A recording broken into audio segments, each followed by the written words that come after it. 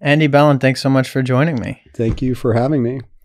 I guess one thing I, I just want to start off by asking you is, uh, or just to introduce you, like you're a guy who's led a handful of careers. You're an almost astrophysicist. You were an editor at the Paris Review. You're a journalist. You wrote a book called Poker Nation, uh, and you're also a poker player. Um, what which of these careers have you enjoyed the most of the many that you've led and continue to lead? Um, I think uh, to sort of say like the the career itself was more appealing than any other. I, I think this is so much more dependent on like where I was in my life. Mm. So when I look back at my career and all the, you know, I, I just sort of aspired to finding a, a more public stage upon which to fail. And I just kept trying to, to do that over and over again. Um, a couple, I think the sort of perfect storm of events that led me to the Paris Review and the group of people that were there for that generation, um, it was like the greatest, you know, four years of my life. And it couldn't have shaped me better, couldn't have trained me better.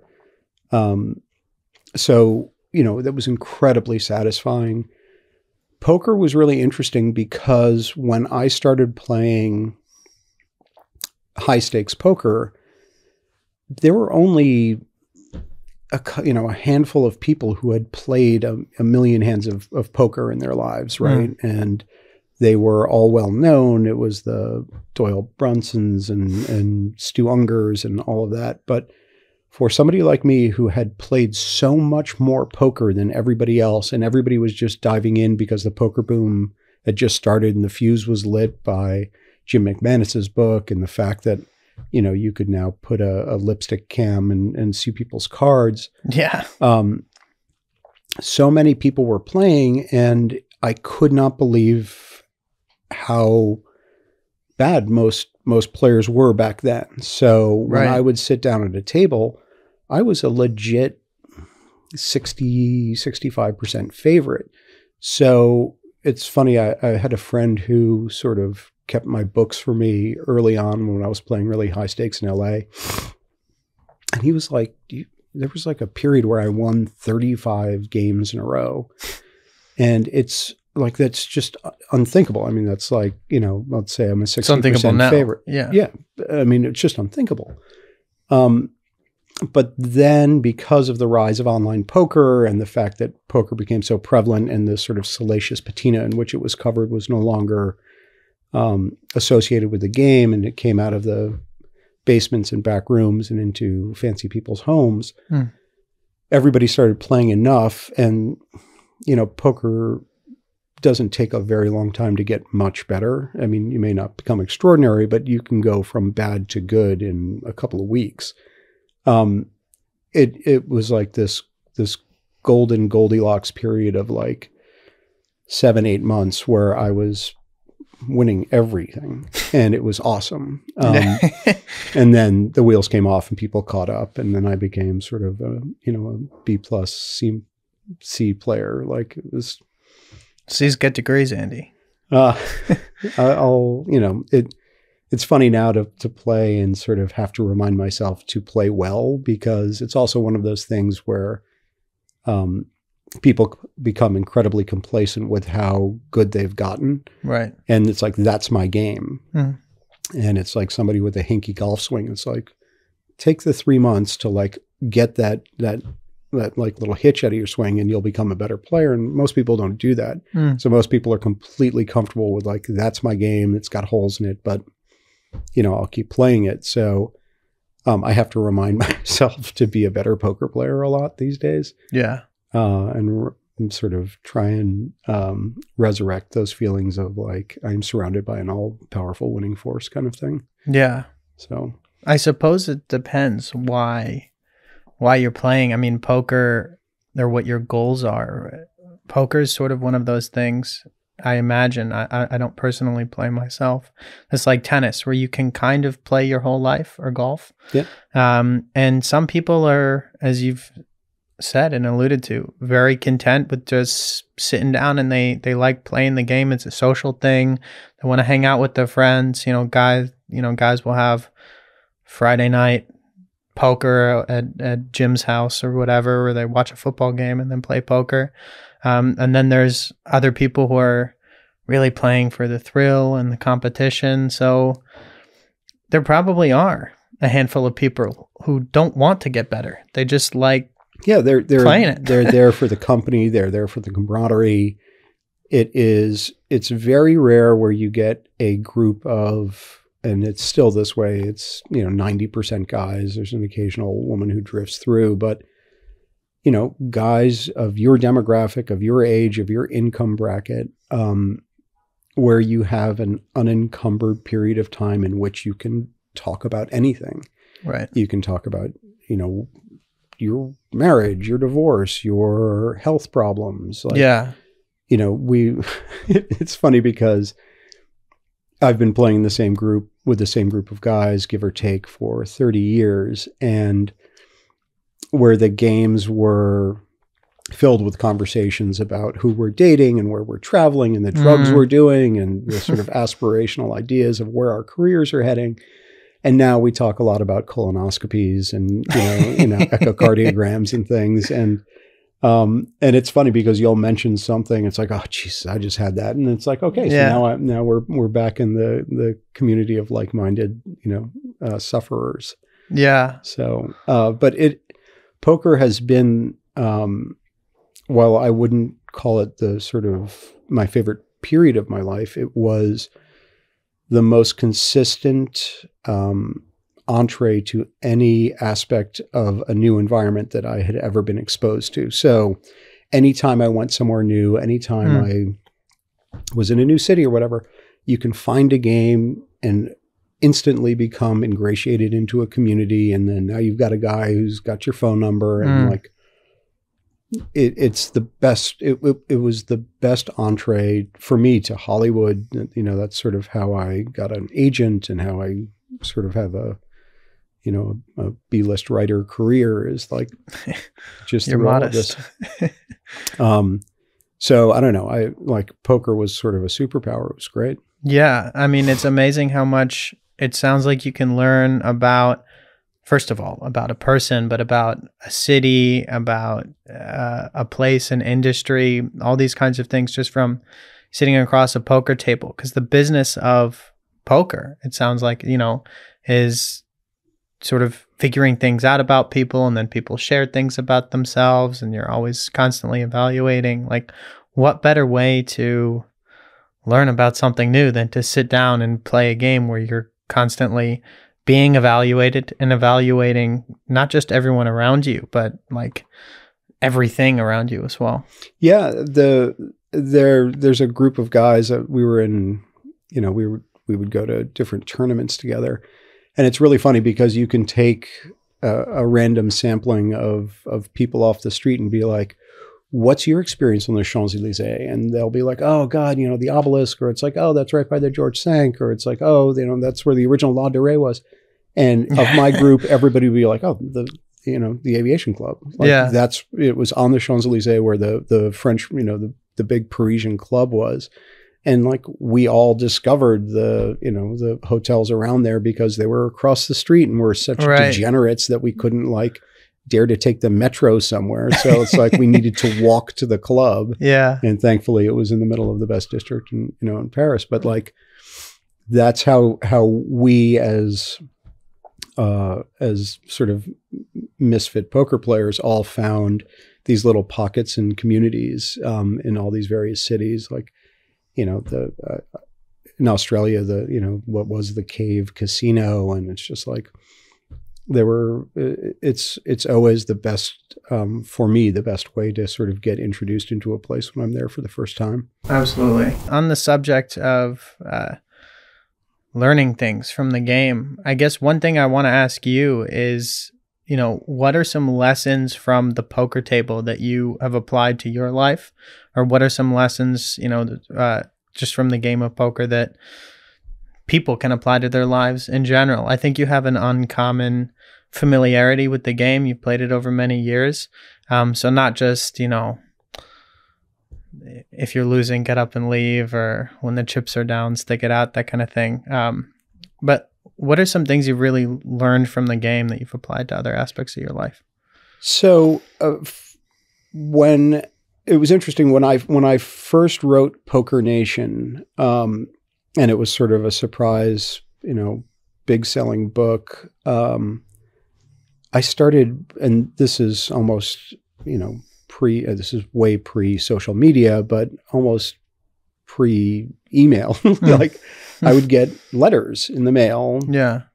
from random people who was like, I found my grandson reading your book and I read your book and I don't play poker, but it really helped me connect with either him or her or it it's interesting that I took this aspect of what you were talking about and applied it to you know my marriage or something and there it despite um the sort of notorious origins of poker and the association with gambling and everything salacious contained within, there is incredible life wisdom at the table. Mm. And Like what? so uh, it, it's funny because I I'm, I'm having the weird experience that my oldest son Lucky, um, who's now ten, incredibly bright kid, and um, you know in both good and bad ways, very similar to me, has started playing poker and is playing with his friends and um, uh, has asked me to sort of teach him. And it's, you know, part of me really wants him to excel at this. And then part of me is like, maybe you should learn Mandarin. Like, Yeah. Maybe there's other ways to spend your time. But there are circumstances at a poker table that present themselves that when you apply to your sort of infrastructure of your real life, you can learn a lot. And that, so for example, uh, I was playing this a couple of weeks ago in LA, and not to get too deep in the sort of geeky woods. No, but- please, but, please um, get deep in the geeky woods. um, Get into the forest. um, I was I was dealt a uh, I was dealt a pair of eights, and then the flop comes out uh, eight jack ace, and there's no flush draw on the board. And basically, like it's as, as good as it gets for me, right? Like anybody with an ace thinks their ace is great. Like, pray to God somebody's got an ace and a jack, and they're going to lose all their money. And I bet, and he raised. I called. I checked. The turn was a blank, and I checked, and he bet, and I moved all in, and he snap called. And he had pocket jacks, so he had three hmm. jacks. I had three eights, and I lost. I don't know x number of, you know, tens of thousands of dollars or whatever. But I, I could not have played that hand better.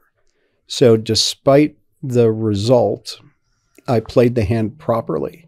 So there are times when you're at the poker table and theoretically the idea is that you are supposed to and this is you know something that's discussed in every book is that you are supposed to maximize profits and minimize losses. Sure. Yeah. So if I have ace jack and you've got ace 10 and it's an ace blank board, I have to figure out how much I can get from you. If you were willing to lose, you know, two grand on that hand and I only got a thousand from you, I didn't win. Uh, yes, I won the thousand dollars, but I left money on the table and in a sense in that proposition because you know, in the infinite number of poker hands that are dealt, you're going to have ace jack and I'm going to have ace 10 and you know the situation will be reversed. And the question is who played the hand better? So even though we played the exact same hands and we played them against each other and you won one and i won one the person who played it better maximized uh, profits and minimized losses Mm. even though it was a break even scenario won money. So you can go to a game and play perfect poker and lose $5000 but somebody else given your hand will have lost $10,000. And as weird as it sounds, you have to then say to yourself, "Oh, I played really well." Yeah. And you can come home at you know after a, a, a session of you know X number of hours and say, "Oh, I, I you know I won eighteen hundred dollars," but if you didn't maximize profits, you should have won three thousand dollars. And because it's an infinite game and there's um, you know, the probability says you're going to be in that scenario again, like you are then a losing poker player because somebody else would have created a, a, a more profitable situation. So that in, instead of becoming so result oriented, and particularly in a binary way of win and loss, Mm. um, you have to apply it to to sort of what was the potential. So it's sort of you know for guys who are in, and this is a you know a very pokery conversation, but guys who are sort of like in marriages that are okay, Yeah. but they're still in their marriage, and like they are making it function, but they are not making it function as well as they can, or they're not accepting that this is a, like an unfortunate scenario. They're just sort of used to sort of cruising along. And the idea that even in a scenario that is a win, like I'm still married, you can make it better. Right. So there's a way to say, like, do not focus on the binary reality of like the box is checked and I'm still married Yeah. as like something that's a successful notion. Like, go do go do it better. Yeah. Um, so these are these are things that I sort of try and apply to life. That they're you know like that hand is is you know what we would call a cooler hand, where you are designed manifest destiny. When the cards were shuffled and dealt, you're going to lose all your money, Yeah. and you have to accept that as that is you know that that's why they gave you the batting helmet. Like occasionally a pitch is going to hit your head, but the the you know th- then the task for you becomes can i not let that affect my play and it's interesting because there's a phenomenon there's a big chip phenomenon at poker where it's like you sit down you win your first two hands and now everybody else has got 3000 and you've got 8000 it's like oh i'm a tough guy i'll start betting and raising and making people uncomfortable because i can absorb their stacks that's easy to do like anybody can can play, you know, big stack poker. It's like it's like having a first date in Venice. Like if you're not happy and getting laid and it's not the time of your life, like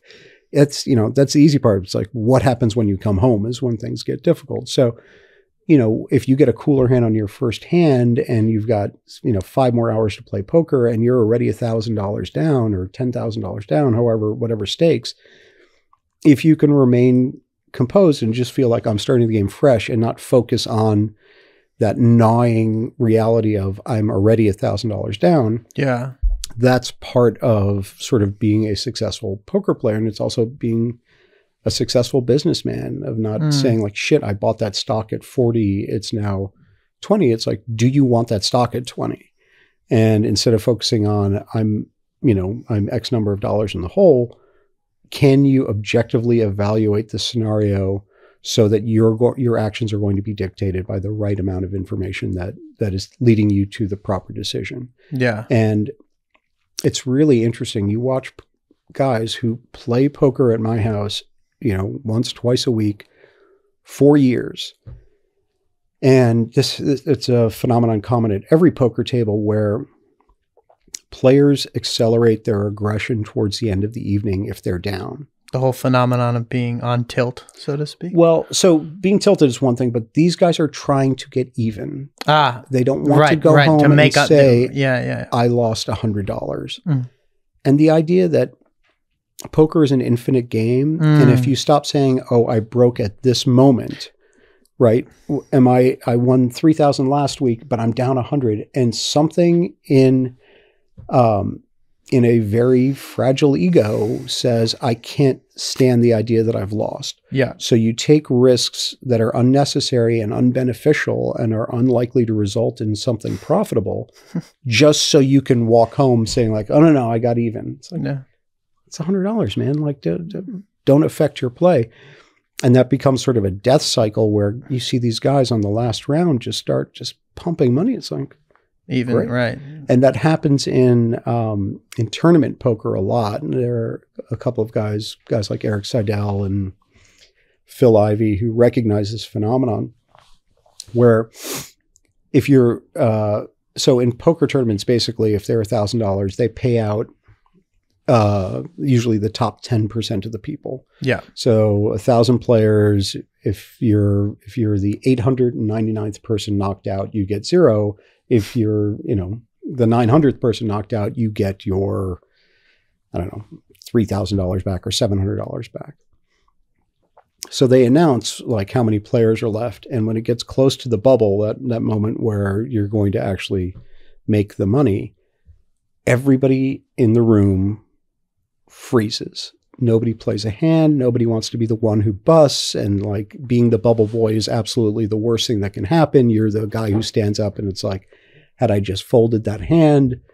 So the really good poker players start getting incredibly aggressive towards the bubble, knowing that everybody's only going to play their premium hands. Right. So there's so much money to be made in in tournament equity by being aggressive towards the bubble because so many people are playing passively. yeah. So and it's that whole thing of like now look at your life. Like you flew to Vegas, the buy-in is $700. Like is that $700 going to make a difference to you? Mm, Because if it isn't, like, then play your game because this is when everybody's playing tentatively. So it's also sort of trying to trying to take the ego out of I I made my money back yeah. as opposed to I am trying to win the tournament. Yeah, absolutely. I think of all the things you've just said, what what sticks out to me the most is this concept of the infinite game. Poker is an infinite game, and so is life.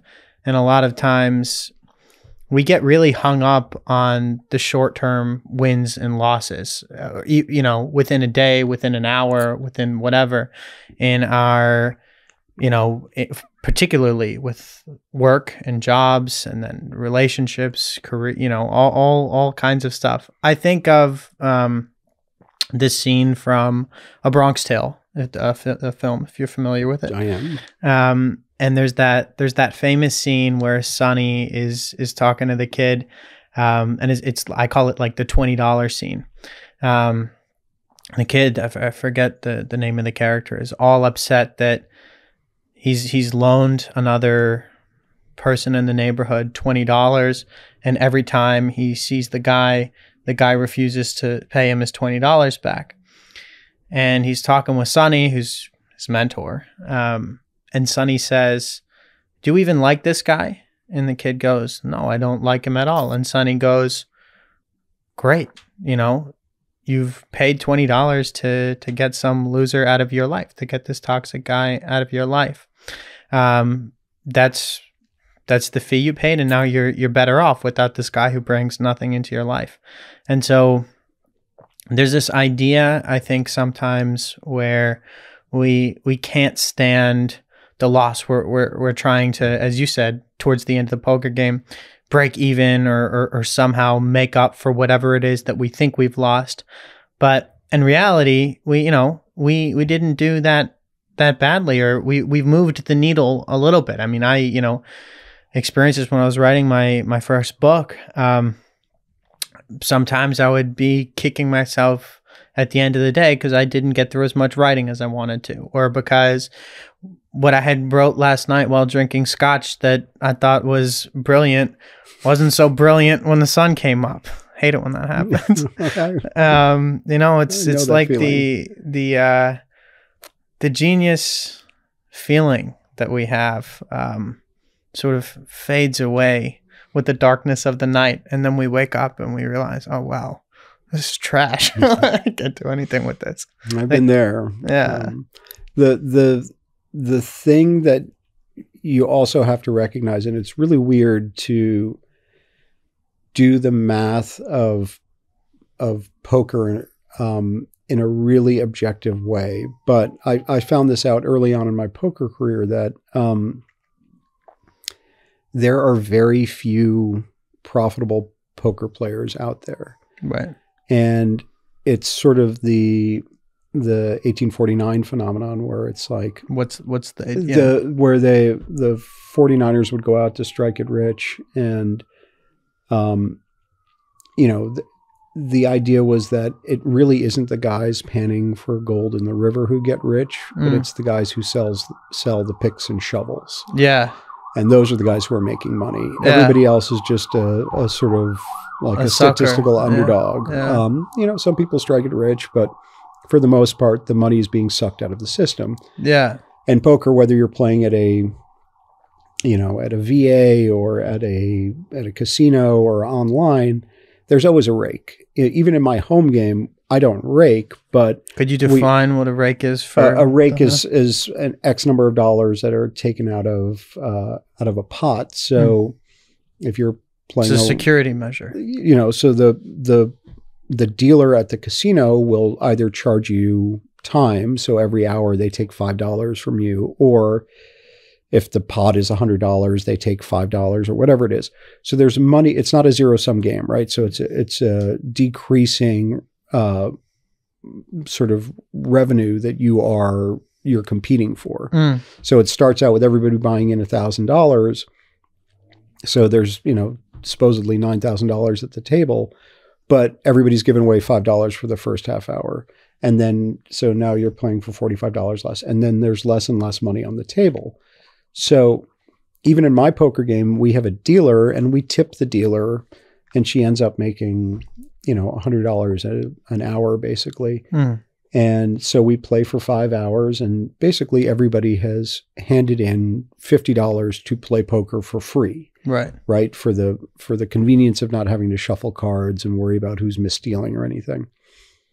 So n- to break even, you have to be a you know a five percent favorite, so that you know just looking at it mathematically, like you know most people at the table are going to lose money Right. and that's the phenomenon across poker. Mm. And um, it's really interesting. But we were talking earlier about when when the pandemic happened, and we finally figured out. uh, My my group of guys finally figured out after a couple of months a way to sort of resurrect our poker game on an app and then Zoom, and sort of everybody was so happy to see each other and play. Um, and then all of these online uh, games started popping up. And at first, everybody was playing for free. And then a couple of people started figuring out, like, oh, I'll just charge, you know, $20 to sit down. And a guy we knew, a pretty smart guy, just said, I'm just going to started running a game every night and charging, I don't remember what it was, whether it was 20 or 40 or $100 to play. And he was kind of shocked that he was making a like a ton of money out of this. And he had said to me, Well, you know, I, I I'm happy this is going on, but he said, you know, it's in six months this will be over. I said, Why? And he was like, Because I'm the big winner. Like Yeah. I don't play and I'm the big Picks winner. and shovels. So he's taking money out of the game. The resources are going to dry up. The game's going to go away, and it has a, a you know a finite existence. Yeah. So that's where poker is very weird. Is that even when you're at a friendly game, whether you're playing for dinner or the the dealer or whatever, like it's very hard to be a profitable poker player. Yeah. It's a good, I mean, I guess you have to accept that going in. It used to be the case in Formula One where, you know, there was that great movie Rush that came out and I think it was 2013 um, about the 1976 season and James Hunt and Niki Lauda. There's another great book called um, The Limit by Michael Cannell, a journalist Mhm. about Wolfgang von Trips and some of those guys that were old uh, Formula One drivers Yeah, yeah. back in, in the 60s. Um, and so uh, you know who these people are. So um, there, it, it used to be common knowledge that you know drivers would die every year. You would start off the season, and then you'd have X number of drivers starting out. I don't remember how many it was back then, twenty five, maybe thirty, or just between twenty and thirty, I guess. Um, and some people wouldn't make it to the end of the season; they would perish personally, I'm of the opinion, and I'll say on the record that I would like death to be part of Formula One again. I think it's got, we don't have to hash this out, but I think it's gotten far too safe. I think the technology has gotten too sophisticated. You have the halos, you know. I liked it when the Formula One drivers died because there was an element of thrill and glory to it. Um, and there was an element of incurring risk. You are inherently incurring risk. I think also the driving was more pure back then. Now I think technology plays too big of a role in it. Who has the better car, um, or who has the more sophisticated suspension system? Um, that's sort of a, a a side note. The the point of this little diatribe that I'm making is that all the drivers would start off at the beginning of the season kn- knowing that some of them would die. That that they may well die. And when you sit down at a poker table, I guess you have to accept that statistically you probably will lose money because or you probably will Yeah, you're probably lose, money. you know, maybe you're advancing yourself in the infinite game. You're you play your hands as best you could, but no, everybody can't walk away from the poker table up. It doesn't work like that statistically. It's it's uh, that's it's not possible. Yeah. So we, I mean, we, the analogy is everybody thinks they're good and bad. Yeah. And, um, you know, just anecdotally, you'll, again, I think the statistics are right on like 60% of poker players are losers. And so most, you know, 60% of people don't know what they're doing. So it's, um, It's a good analogy. yeah. Um, Uh, it's funny bringing up the the technology aspect um, sort of in sports and poker because the when technology started to infiltrate poker when when you could start playing online it seemed like this this almost like uh, this emancipatory moment where all of the things that had prevented you from seeking out the game you loved so were suddenly taken Mhm. away and you could find a game anytime you wanted and in the same way that the the sort of algorithmic manifest destiny of every sport ends up ruining it where home runs and strikeouts have ruined baseball and the understanding that the three point line is is the only thing that matters in the NBA not only do you sort of lose the individual uh, aspects of each team being interesting and each player being interesting, where there used to be NBA teams that were, um, you know, low post oriented or motion oriented. Like it's now all the exact same thing, and it becomes iterative in a sense. Like the algorithms started collecting information on people's play in poker, and now there is what we have found out a sort of optimal strategy to play. And in the same way, like if you in the 80s when they first started the senior PGA tour, you go back and you'd watch these weird old golfers like Chi Chi Rodriguez and stuff. They used to tee the ball up like that high, and they would all have these hinky swings because they were homemade swings that they made in their garage. And then, you know, the Phil Mickelsons came in, and then everybody learned the swing from the same DVD. yeah. So then it, it became everybody conformed to what was the most productive path. Um, a lot of the subtleties and individualities of poker play have become lost to the algorithm. So right. most people play very similarly. You have found an extraordinary benefit to aggression, and it's kind of taken a lot of the fun out of the game for me, and, and also taken a lot of my advantage away. You ever throw a wrench into the gears and do something you know you're not supposed to do just to fuck with someone? Well, I mean, in a sense, that's optimal play, right? So that the expression is that there's you don't really lose money. You can't play as a robot. right. You don't lose money on a bluff because when you turn over your bluff, that is an advertisement for the idea that next time you bet with a winning hand, somebody should call you because they've seen you bluff. Um, and the really good analytical poker players will say he raised in this position. You know, last time he did that, he had this cards. There was a caller behind him. He he made this ratio bet, and you can sort of pathologize through the actions like a, a range of hands to put him on or her Right. on.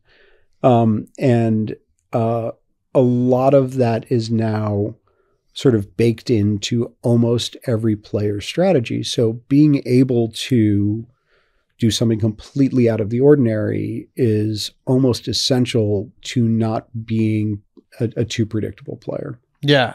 No, that makes sense. Another thing I want to dig into when we were talking about before is this concept of being able to win by losing.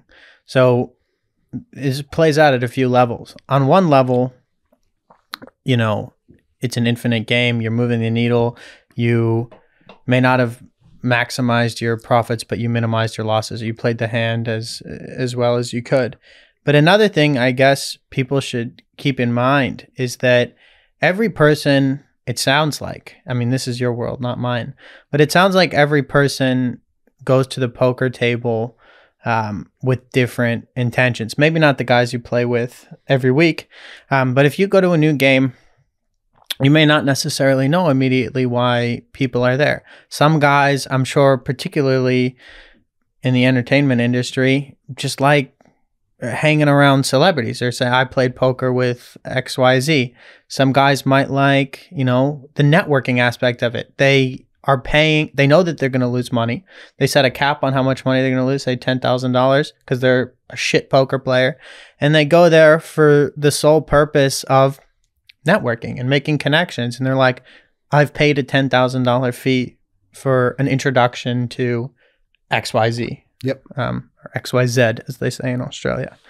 Um, other guys may go to the poker table, as we said before, because, you know, they're they're not partial to the idea of a therapist and they just want to chat with some strangers in a bar they'll never see, they'll never see again.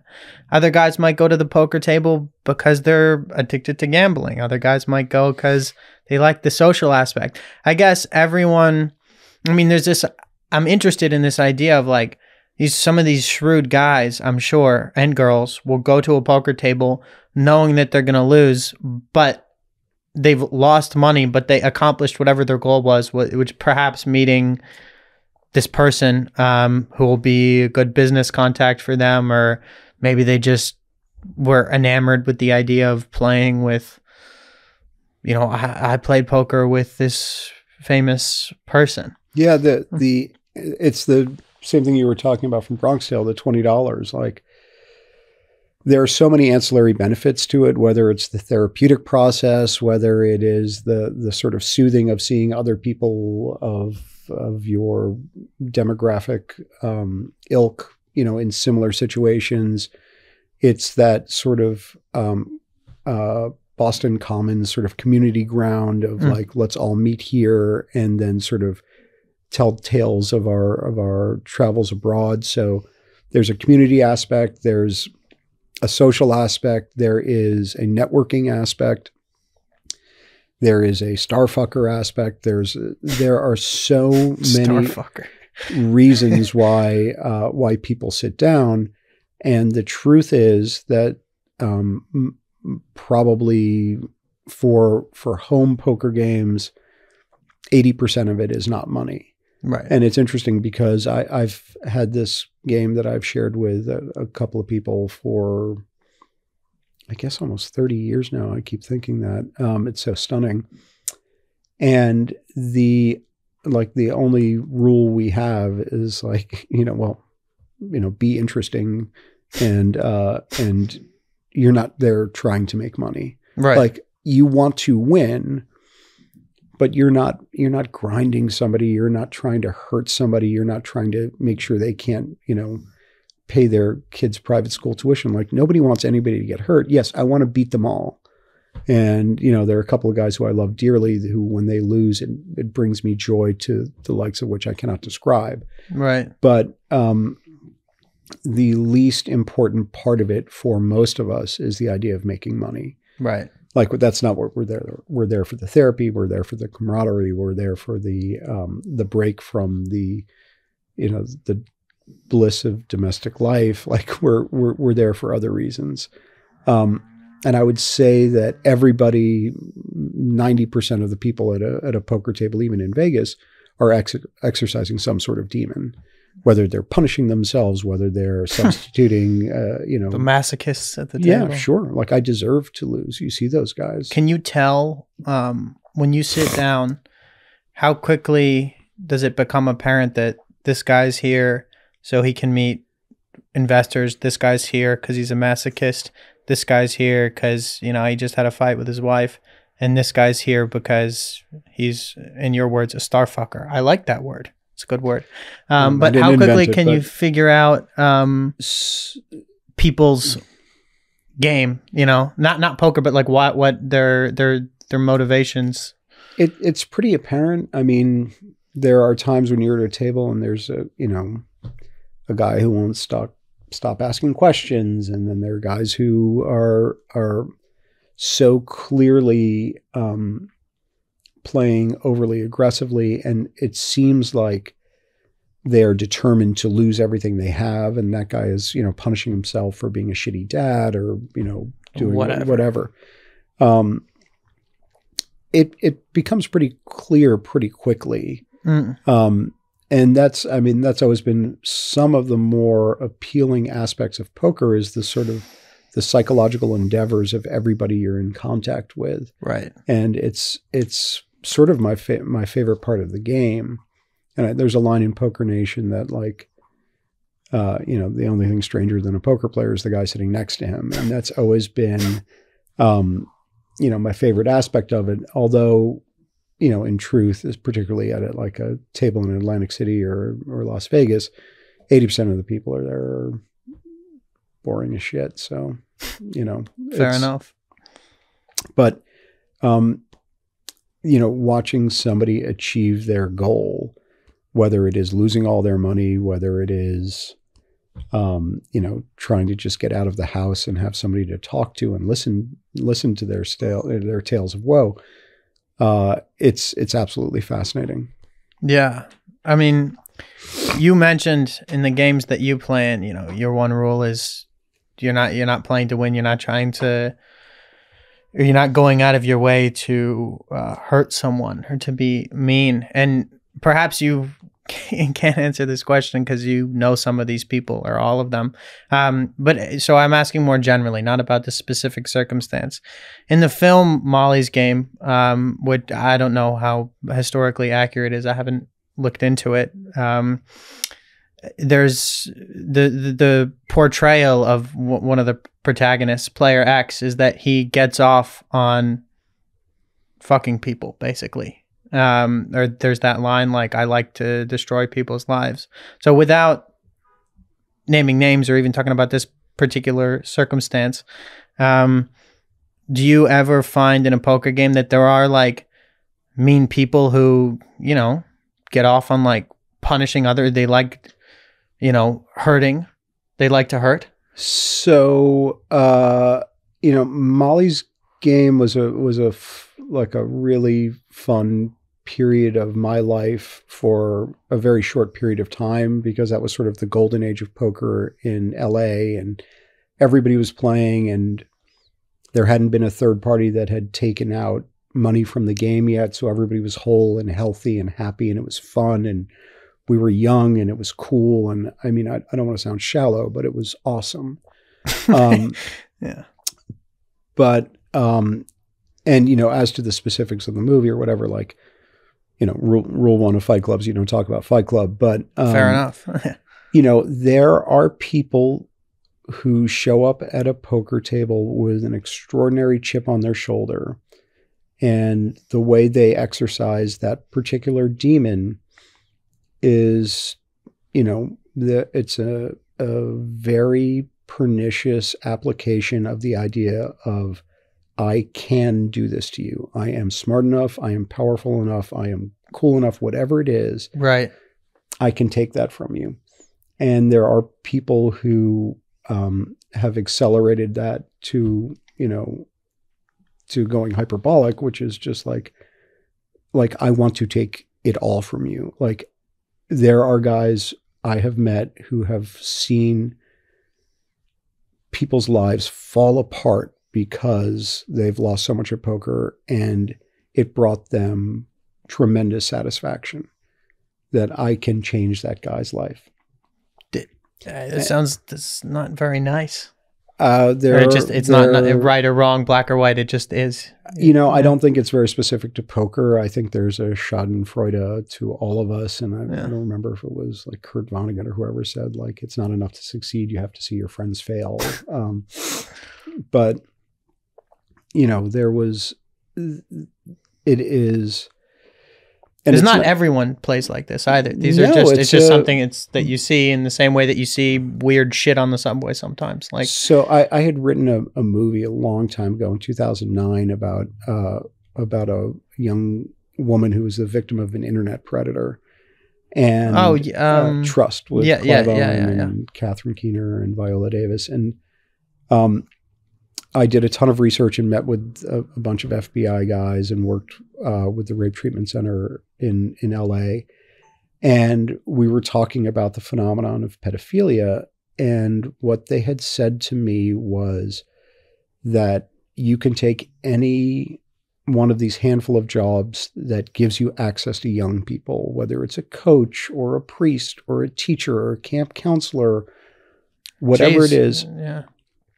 And across the board, it is because you have put yourself in that position. It was something like six percent of those people are are sick.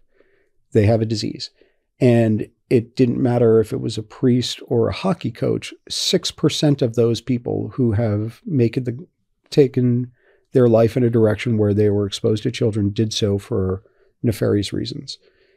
Um, I don't think poker is uh, is is more of a sort of den of thieves than any other of these hyper competitive fields, whether it's finance or whatever. But I would say that it's probably six percent that there are six percent of the people there clinically detached enough to see success as somebody else's failure. Right. I'm sure that's true in banking. I'm sure that's true in real estate. Um, so that I mean, it, it's not it's not a phenomenon that is specifically reserved for poker players. It's can't you know, my my gain is your loss, and there are, are individuals who take that to you know an exponential degree to the point of I can take everything. Right. Where is this 6% statistic from, by the way? I don't remember where I got that, but don't remember if it was from the FBI or somebody gave me that statistic that it was something like it, you could go to any parish in in the world and six percent of the priests were pedophiles. Or camp counselors or anyone in, in something like that. under whose charge there are uh, or who's who's in charge of, of children. Something Uh, like that. That's no, that makes sense. Um, and I don't, I don't, as you said, think that poker necessarily brings out things in people that aren't already there. Someone once told me, um, in another context, uh, this this girl I think was talking about um, her boyfriend had, you know, he would act like an idiot when he took drugs. Um, it was nothing like violent. Um, there was no like sexual violence or physical violence or anything like that. Um, but she's like, oh well, it's just uh, it's just because you know he was really high. Um, and my friend intervened and said, no, no, no, no. Drugs don't make people do anything. You know, like drugs don't make people do things. People make people do things. It's not bringing out anything that's not already there. Now, of course, you know, you drop acid in the forest, you're going to start hallucinating. But I guess what I'm saying is that these behaviors. You, you shouldn't misattribute them to drugs or to poker or Sure. to anything. It's it's the person. At the end of the day is take personal responsibility and assign blame where where blame is due. Yeah, so poker in that way is this sort of fabulous either kaleidoscope or or litmus test where you know whatever I, I forgot it maybe it's the Balinese shadow puppets where you know you're not looking at the light but the absence of light. Like you're it it's a great way to find somebody's spirit animal like whatever they Yeah. are. Um and it, it's the same thing with with alcohol or stress or you know w- like what what really is beneath the the surface. And a lot of the times the content of the character is completely absent. Yeah true. Um true. And i mean to the extent that i can say it's true in other aspects of life i can't Yeah. say it's true because i've never played poker to be honest. Um what do you have to say andy on the subject of taking your beatings like a man? Um i'm not sure anybody gets great at uh at failing. Um but i would say like accepting the fact that just statistically you are supposed to lose a lot of the times and I, I've, I've the sorry i'm gonna really out myself for the nerd that i am but um there was a great star trek Please- please do. star trek episode where they they bring up um and actually it might have been the a movie but the, they bring up the there's a test at Starfleet called the Kobayashi Maru, Yeah. and it's basically it's a scenario under which you cannot win. Yeah. You can't save the people and save the whatever. Yeah. Yeah. And they're not actually trying to watch you problem solve. They're watching how you cope with the failure. right. And famously, Kirk was the one guy who beat the Kobayashi Maru because he went in and reprogrammed Yeah. it or whatever. But there are certain um, scenarios in poker at the poker table in life where it's a fait accompli. You're you're done. You're going to lose when it's your time to die. You die. yeah. And um, I wouldn't I wouldn't quite phrase it as taking it like a man. I would say, um, don't make it unproductive. Like Right. so, uh, I I describe in Poker Nation as somebody going on tilt when they start just playing irrationally and over aggressively and trying to make up for money that they lost. Like it's not their money anymore; it's somebody else's money, right? So you don't you didn't you're not losing now. It's just you have a smaller stack of chips. That's it. Um, going on tilt is like playing in a tennis game and being so angry at your right hand that you've decided to play with your left hand and swing as hard as you can at every ball. Like it's just not going to work. Um, But it's so common. yeah, and, And it's, it's- again, but then now you be, it becomes more of an uh, like um, an esoteric sort of exploration of like why you're at the poker table, but because then you see the people who are punishing themselves. Right. Um, but so if you can have a cooler hand where you've got, you know, uh, the nut flush and somebody river to straight flush, and you are a huge favorite, but this is going to happen to you. Like if you Mm. play enough poker, you're going to see every combination of cards and bad beats. If you have enough composure to just be calm and say, okay, that happened. Now let me get back to my game then that is actually a productive strategy that's going to put you in a position because everybody else at that table is going to take a bad beat. And if they go fucking bananas when they go, um, you know, on tilt and, and get a bad beat, then it's your advantage. You can take advantage of them. And if you don't do that, then there's the difference between maximizing profits and minimizing losses. Like any other person in that seat would now go apeshit, and you don't. So you have not you have minimized losses. Right. So, however you want to phrase it, you know, taking your beings like a man or whatever it is, like if you can, if you can separate the emotional reaction that is inherent in any one of these, what what feels like cursed scenarios, then you'll be a profitable player. Yeah. Just for the for the record, I took that phraseology off of the product description for your book on Amazon. Taking your beatings like I'm sure you didn't write that yourself. Or I don't know who I wrote probably that. didn't, but Um, it was. It was written. But no, I mean the the phenomenon you've described and and sort of how to deal with it makes makes a lot of sense. Um, have you ever, Andy, gotten up and just walked away from a poker game for XYZ reason? Like the people weren't pleasant to be around, or it was a dangerous situation, or whatever. Don't need specifics. Yes, like not enjoying the company happens all the time. Dangerous situation happens infrequently, but certainly happens. what Um, with like firearms or something? uh, you know, the in the underground clubs in New York City, there were a, a number of Unsavory characters. unsavory characters, and you know, they places had been robbed, people had gotten shot, like. So you're also playing with guys that are occasionally volatile enough that it may lead to something else. So yes, I've walked away from tables where I was like, don't want to be, don't want that person in my life, Mm. basically. Um, certainly have left because it's boring. Certainly have left a number of times where I did not feel like I could control the frustration from a bad beat. Yeah. So That takes discipline, though. I mean, that, that's just everything we've been discussing. yeah, Playing on tilt, minimizing your losses. If you're not in a right head, you wouldn't drive drunk. You shouldn't play on tilt. If you know, Yeah. And Yeah. if you can't control the tilt, then just get up and go and you'll play tomorrow or the next day or whatever. So I, I have done that many, many times. yeah, Um, and also every once in a while, like each game has its own dynamic and its own feel. And it's this sort of, um, you know, if, if you try and pathologize the the mentality at the table, you can say, oh, that person is table captain and they're raising six, you know, six out of ten hands, and that person is a calling station and all this kind of stuff. I have sort of a sweet spot where I like to to drive a lot of the action.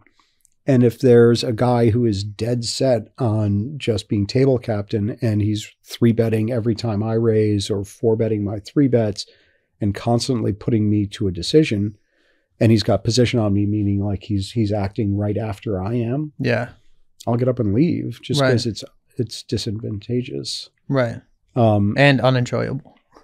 yeah, there was a uh, a friend of mine was telling me this story. Who's a, who's a great guy, like one of the best poker players um, on earth.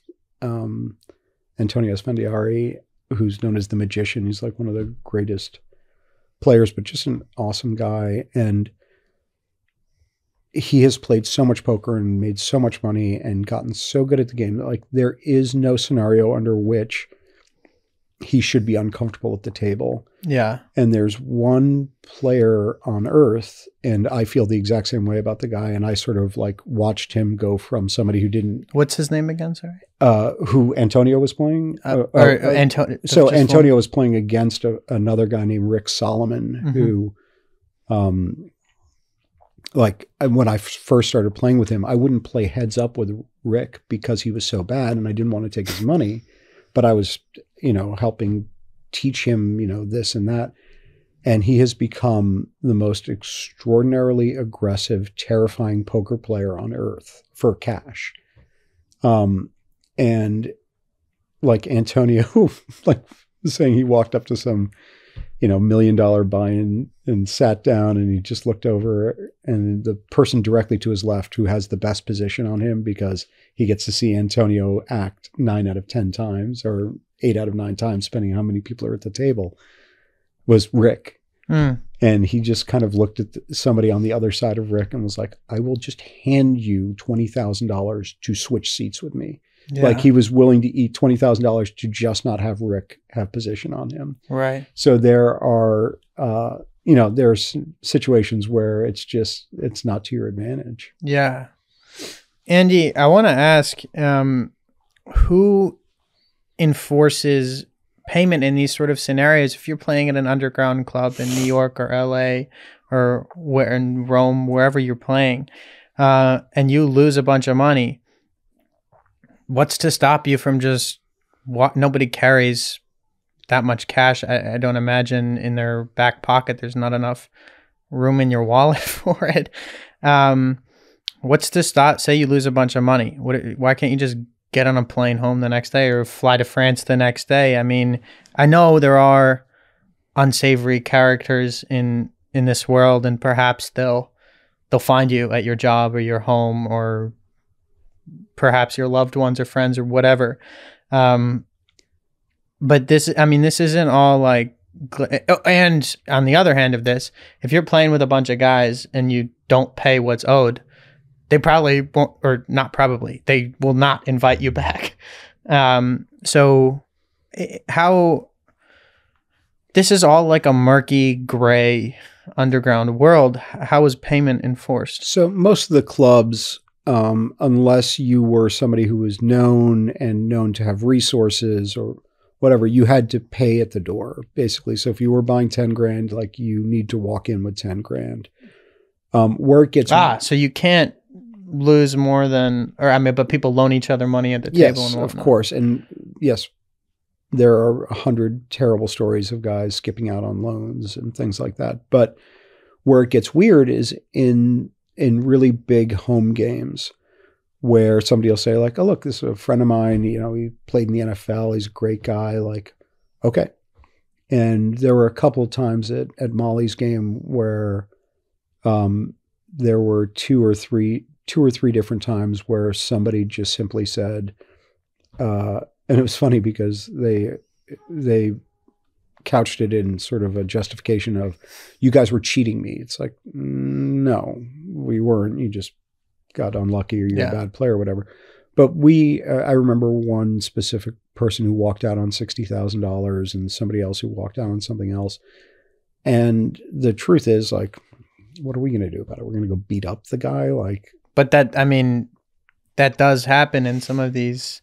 Like you watch the movie Rounders, for example. Like I mean, fiction. well, like, uh, or maybe be Brian- careful about what table you sit yeah, uh, I I would say Brian Koppelman and David Levien had a, had probably the the greatest, most accurate depiction of New York poker, but that that was sort of underground clubs and stuff like that. But, um, you know, for these big games, most of the time somebody walks out, you eat it, and Right. it's funny. We had, um. Like I said, I've had this poker game for 30 years. Probably 200 people have come through you know, from massage therapists to tax attorneys to international celebrities. And um, of all of these people, only one person ever uh, wouldn't pay us. And it was really interesting because we were all so shocked that it happened, that it finally happened to us. And it was not an extraordinary sum of money. It was like, I don't know, $5,000 or something. And at first, he just disappeared. But I mean, he lives in New York and he's got a job and like, but he wouldn't go to any poker games. He dropped out of the fantasy football league and all this kind of stuff. Um, and it was really interesting because I called him and left him a message and I said, look, man, how about I loan you the money and we figure out a way so so you just pay me back over let's say 3 years Yeah. just pay me back. Didn't get an answer. Then I called him and I said, look, you, you know, of that five grand, you owe me two. I'll walk away from the two. You just pay everybody else because it's Yeah. important that the game has integrity, not a phone call. And we ended up having to, for the first time ever, like chop money out of the pot, rake the pot to pay everybody back over the course of a couple of months so that so that everybody shared uh, the the pain basically but it was a really shitty feeling and it was also what was his? Was he going through a divorce, or is he moved? Um, I don't know. What was his justification, it there wasn't or did he never it- call it back? never never got one people have said that he's you know popped up at this poker game and that poker game Was he what was- a few screws loose or something? no he was he was just not uh i think he was just comfortable with with being unscrupulous Oh, oh, So- okay. and somebody basically said if it wasn't that hand it, It would have been another. he was going to take as much money as he could out of the game and then walk away one day Ah, yeah. um, and it was interesting. There was like great justice in it because he had. I mean, this is again deep in the It nerdy. was a woods. twenty dollars situation. He wasn't a great guy to have Well, around anyway. Absolutely, but also um, he ended up winning uh, a friend of ours fantasy football thing for like you know three thousand dollars, and we called him, and the guy gave us the money. So that was there was a little bit of justice for it. That's kind of funny. Yeah. Andy, what do you say? I mean, poker's poker's a great game. There's a lot, uh, a lot you can learn from it. It's a lot of fun. There's also, I mean, I was asking. Not, I don't want to get too hung up on the negative aspects of this, um, but you know, I'm sure you've seen, or you probably don't enjoy playing with this person because they're not very good anyway, or they, I wouldn't imagine they are. But what do you say to the guy who's, you know, walking in there? Maybe he's drunk, maybe he's not, like gambling with not just his money, but his wife's money and his kid's college fund and uh, XYZ. Someone who really can't help themselves and who's not just endangering their own welfare, but is is basically playing with other people's money. Um, like a, a person who's truly addicted to to gambling. In Australia, you know, um, there's pokies machines everywhere, and all the bars they're, they're like slot machines.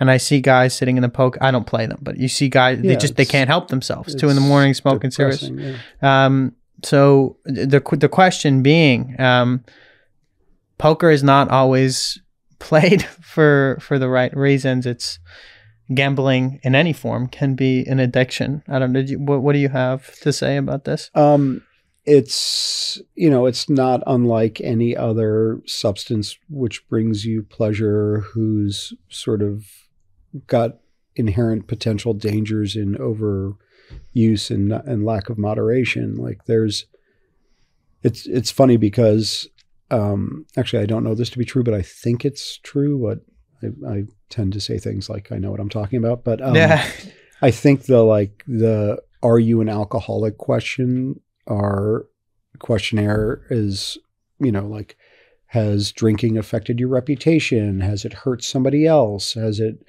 caused you to lose um, self esteem? And I think they're the AA and GA, the Gamblers Anonymous, like they're the exact same questions. Yeah. Um, just take out, you know, alcohol for gambling. Um, so when you see somebody in the throes of something, it's really awful. And Right. we talk about it. Uh, we we had one friend who was playing a lot, and you know, we actually asked him to stop playing because he was playing badly and he didn't have the money to lose that he was losing. And we actually like had an intervention, and it was like sending In the same way that you would with with someone abusing any other kind of substance. Yeah. it's very difficult to walk into a table in in in Vegas and be like that guy's there punishing himself that guy's you know spending his church money but it, it happens all the time and you try very hard not to be around it um, and although it is parasitic by nature like you, you don't want to be taking somebody's money Yeah. you know when it's not theirs there there are all these stories of one of the molly's games stories was um a finance douche named um god brad fuck, i can't remember any brad anyway brad something Oh, from from the movie, the hedge fund guy. Yeah. This is yeah. um and brad was This is not his real name. All right. i th- we actually think it was his real name They called him Bad Brad in the movie. and i think his name was brad um But any anyway. yeah. Anyway, I, I only played with him two or three times, but he was playing with his client's money. Yeah.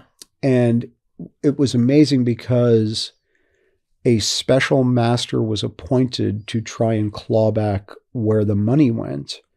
And all of a sudden, guys from our poker What's a special master? What a special master is somebody the court appoints to try and track down where all the mer- the Madoff money is. Oh yeah, yeah. yeah. So Madoff's boat gets sold and his house gets sold, yeah, and yeah. he's got 10 billion in debts and they raised 2 million dollars yeah. they break it up up pennies on the dollar to to repay the the people whose money was stolen and the special master found checks written by brad i'm almost sure his name was brad Um, Finance douche, Brad. yeah finance douche um to poker players Yeah. and those guys got phone calls from the special master saying you have to pay them back and, No.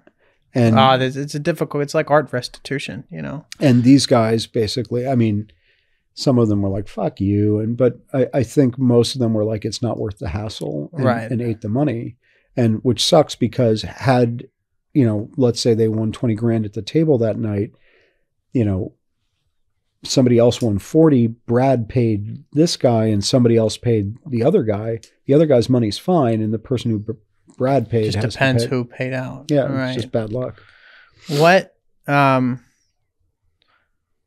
what makes a game legal or illegal? What was the crime of which Molly Bloom was accused and off of which the premise of the film is based? so um it is totally It depends on the state or the I don't know. Yes, every state is different, but for the most part, um, poker is legal. Like I can have a poker game in my house and there's nobody kicking in the door.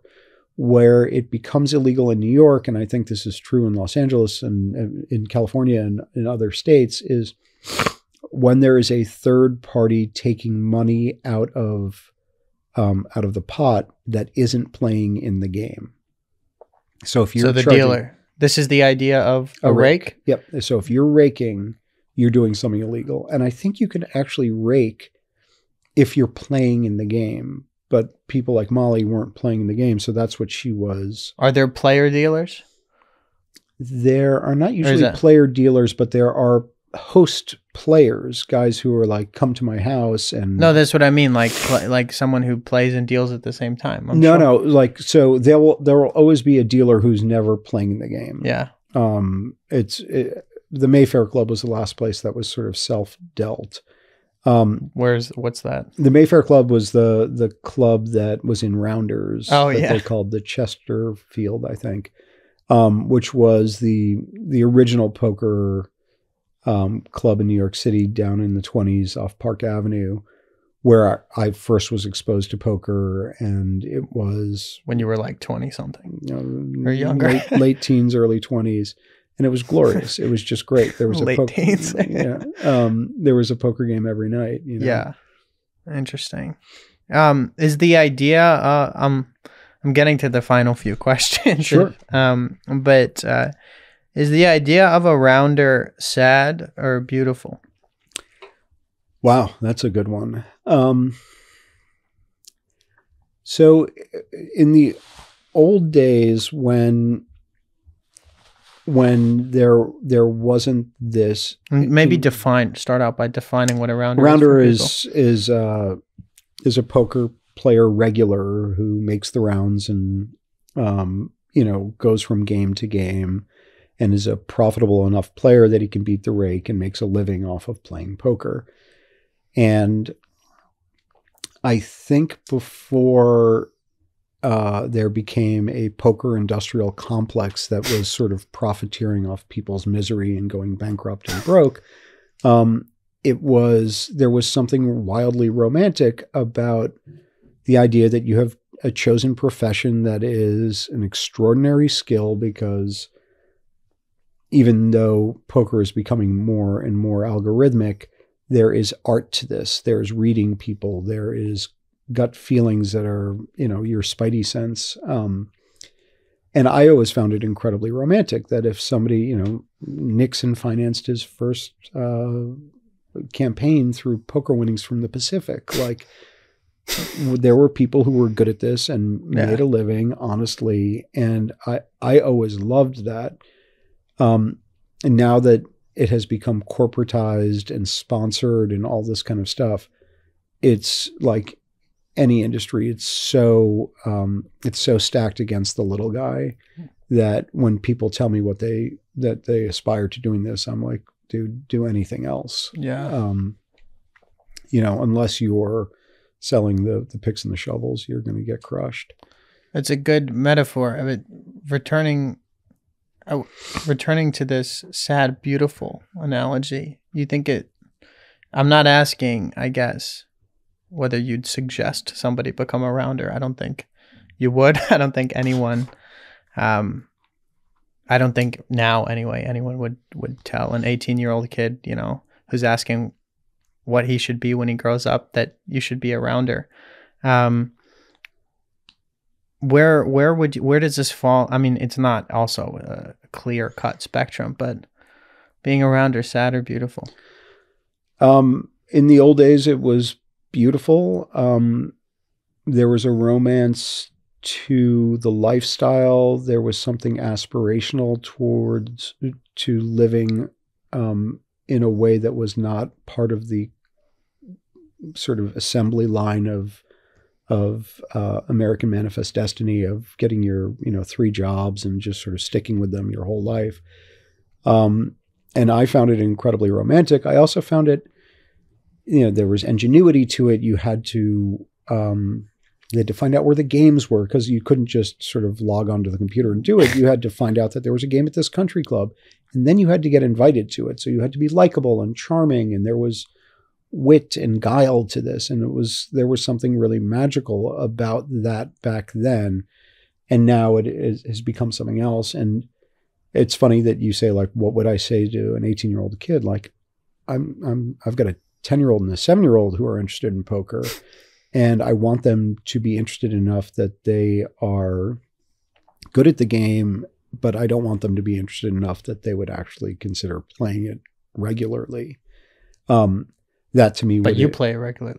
I, I I play once a week, you know, but like their rounders play every night Yeah. and um, have a you know a, a return expectation of, of an hourly wage. Like they can sit Yeah. down at the end of the year and say, I made X number of dollars an hour. Right. Um, I would not. It, there's so many things that can go wrong and so many better ways to spend your time. Like it's it's a fabulous game. It's an incredible entree to a lot of worlds. It's a skill uh, that's got some roguish charm to it. Like, get good at it. Just don't spend your time getting great. I read an interview with you, I think, or maybe it was, I think it was an interview with you where you sort of whimsically commented about how you bullshitted your way into a job at Yeah. the Paris Review as a technology editor or something. How did you get mixed up with George Plimpton and the whole Paris Review crowd? So I had been working. I don't remember if it was some environmental organization, and then I, I had gotten exposed to writing for the first time because I had studied physics and astrophysics and um, really saw my future or the only possible future or something that was related to the hard sciences. But particularly in those fields, the, they become so esoteric as you move up that like, you know, it gets to a point where like 40 people on earth know what you're talking about. And it's a fairly lonely existence. So I sought some sort of application of science um, that had you know more intercourse with the world, and um, it just kept letting me get exposed to other aspects of things, and then instead of pursuing hard science, I sort of started writing about science, and then I ended up having to write something, and this is a testament to my Dalton education, but like I hadn't taken a writing class since 10th grade. and there I was 24 years old, and I was like, I don't know what I'm doing, but I really like this. Yeah. So the advice I'd gotten from a friend was just immerse yourself in the world. And I think by that she meant, you know, read as much as you can, go take a class, learn this. And, you know, huckster that I am, I was like, oh, I'm just going to fake my way into this. Yeah. So um, I had reached out to a couple of friends in publishing, and it turned out that the Paris Review was looking for somebody to sort of bring it into the 21st century. What is this? Late 90s, early 2000s? This is 92, 3, something like that. Yeah. And Did they, they didn't have the internet was Yeah. 10 years later. There was no internet. There was. there, there It was early- was- early- This was early. This was when people were like, "Can you tell me about the internet?" And that Yeah. was literally the line that I used on Plimpton when I, I got an audience with him, and I said, "The future." How did you at a cocktail party? No, no. We, there was a. They were looking for an editor who was computer savvy and all this kind of Before stuff. Before the days of LinkedIn. Yes, and um, I I through a friend, God, it was probably Lizzie Gottlieb, somebody I don't remember, um, got me the interview, and I just walked in and I literally handed him my you know my resume, which probably had seven spelling mistakes on it, and like, but all of my scientific publications as like work I've published, Right. and he was just kind of laughing, and I was like, the future of your magazine, Mister Plimpton. Is the internet. Yeah. And he went, Good God, man, you're hired. And he hired me. Um, and the truth was, like, where I was a scientist and I could use a computer, I didn't know what the internet was. right. So I went out and hired somebody to do my job for me. and I just took my time there as like this unpaid internship.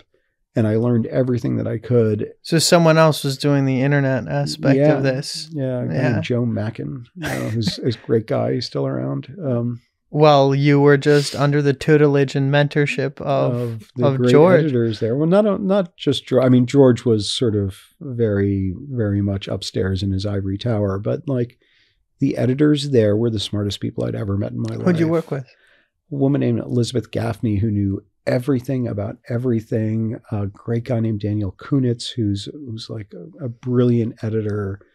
Um, the sort of old hand at that time was a guy named James Linville, who I think still to this day like has read every book ever written. Like these were really bright people who really cared about literature, who really cared about the future of little magazines, and they the important role they they served in finding unknown writers. And you know, the Paris Review had pulled out of this you know the slush submissions like Rick Bass and all of these great writers. I just read a short story. Um, uh, the the legend of Pig Eye Reeves. The you know the boxing sure. the boxing one. I think that that was in the Paris Review. Uh, I don't remember, but the Oh. the review. I mean, you know, the the stuff that they have published and discovered is extraordinary. So these magazines that were running on fumes and goodwill and reputation, um, Hell, making- hell of a trio. uh, making Fumes, goodwill, and absolutely reputation. making yeah. absolutely no money and were you know in in perpetual peril. It felt like you were fighting the good fight, and I was there just just to learn from Just these observing. people and um, Sponge. yeah, and I learned a lot. I made a you know a ton of stunning like colossal blunders that to this day like still I cringe. I'll walk down the street and just like go. Probably "Oh should have my got you fired, but um, there was, I mean, if not for the good graces of Elizabeth Gaffney, but there was like one of my first assignments was to uh, was to copy edit something, and I don't remember. It was, it was somebody's interview. Might have been like probably like Ted Hughes or something. yeah. Um, and he referenced the Edmund Spenser poem uh, "Fairy Queen," Mm. And there it is, written in type mm. F A E R I E. And I grab out my fucking red pen and circle, and I'm like, "That's not how you spell fairy." And you know, these poor people had to pull me aside and be like, "Andy, like, you don't know what you're doing."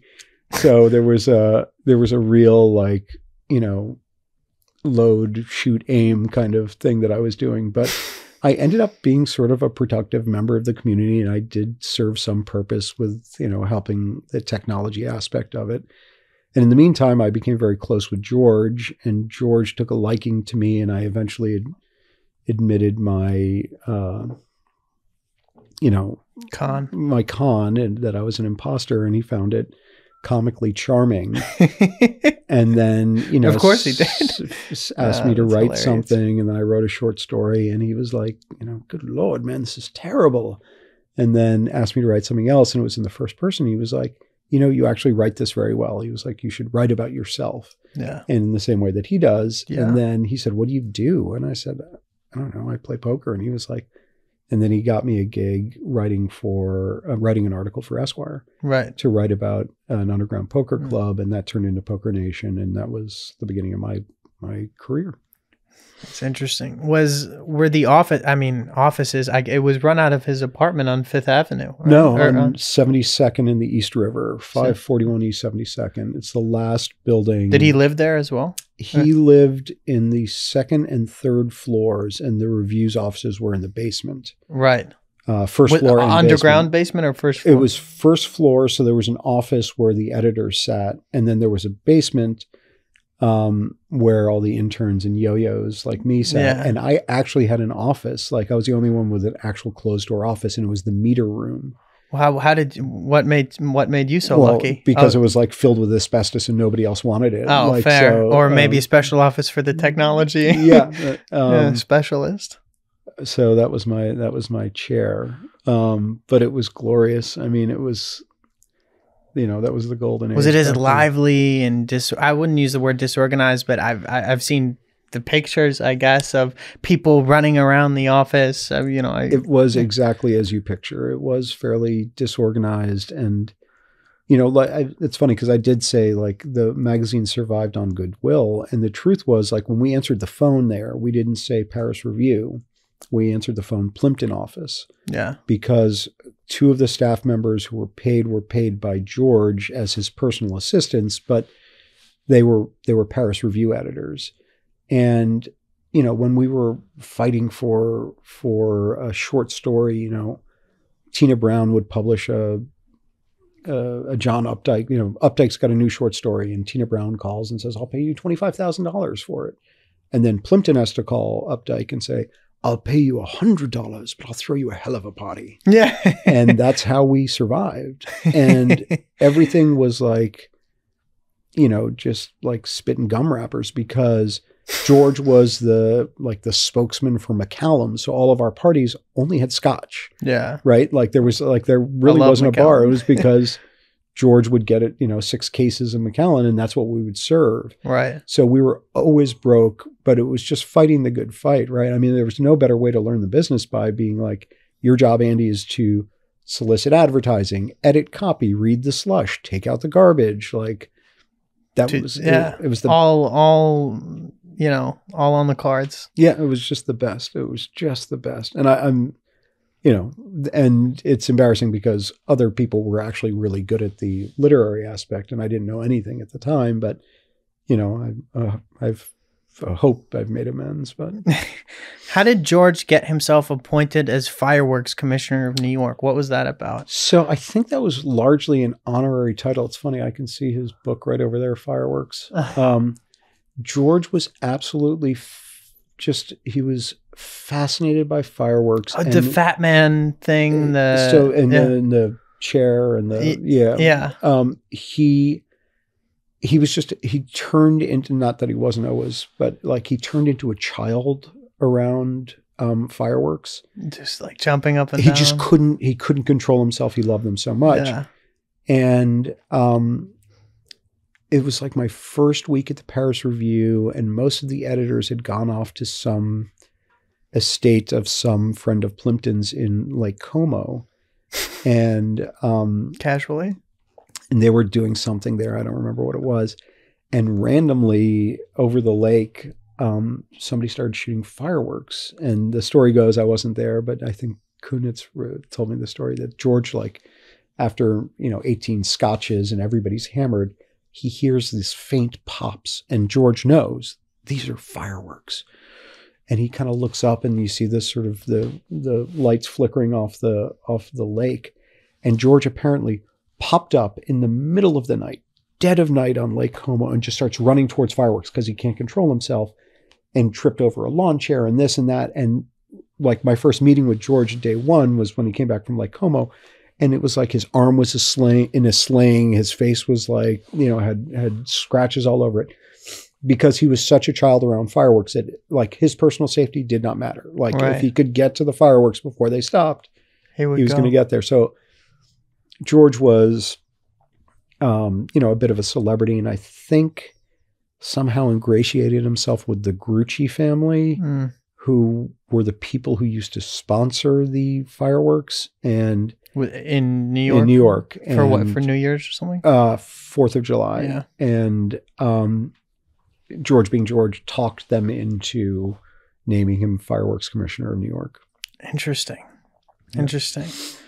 Andy, final final question here. Who is George Plimpton to you? So my youngest son uh, is named George, and George Ames Farish Bellin and George Ames Plimpton. Um, I named my son after George because uh, uh, forget just the the sort of literary prowess and the editing and writing thirty something books. Um, George was, and I'm sure this is an antiquated term that's probably not appropriate to use a Renaissance man, like a Renaissance person, however. Um, he knew so much about so many things and cared so much about so many topics um, that he was inspirational on like nine different levels, right? Mm. Just being around him, his breadth of knowledge, his concern for the earth, his his ability to help other people. We would go, we would be walking through an airport, and some random dude would spot him and be like, "Oh man, you're George Plimpton," and this was not a guy that you were going to spend your day with. And George would say, "Would you like to come have a drink with us?" And all of a sudden, we're drinking with you know Frank, who uh, is a plumber in Queens, but read, uh, you know, Bogeyman, and it was the greatest thing ever. and um, so George was a mentor. He was inspirational. And it's funny, like I was only there a couple of years. Like a lot of guys knew George better than I did, but I I loved him. He got a tremendous kick out of me. Um, but there was also there were all of these um, lessons to be learned just from observing him. It's like almost at a poker table where you're trying to figure out who's who. Like George, the the way I write is very much an homage to George because he never took himself too seriously. Like he, there there was not this. I know he's always sort of equated with the sort of gonzo journalists and stuff, but like he did not take himself seriously. Yeah. There's a great line in Shadowbox where he was like talking about his prowess as a fighter because he ended up fighting Archie Moore. Yeah. And um, he said, I, I was born with something called um, a sympathetic response, which means that whenever struck, I begin to cry. And it was just that's who he was and how he lived his life. And um, I don't know, there was also the internship program at the review was very important. The fact that George was such a caring person that he could never fire anybody. Yeah. So like even when he found out I was an imposter, he promoted me. So I was like he promoted me to a position that I couldn't do much damage basically, Yeah. but he couldn't he he couldn't bring himself to fire anybody. Right. a- So I feel like there was, there were, um, there were examples of how to live one's life that George either intentionally or unintentionally presented to all of us at the review, and some of it stuck. So I don't know. George was somebody who meant the world to me, shaped my life, whether he meant to or not, by giving me the opportunity to present myself as something I, I wasn't, but then challenged me to learn to become the thing that I had faked that I was. Right. And it was, you know, it was the most definitive experience. Yeah. Andy Bellin, thanks so much for coming on the show. Thanks for coming, man. I appreciated it.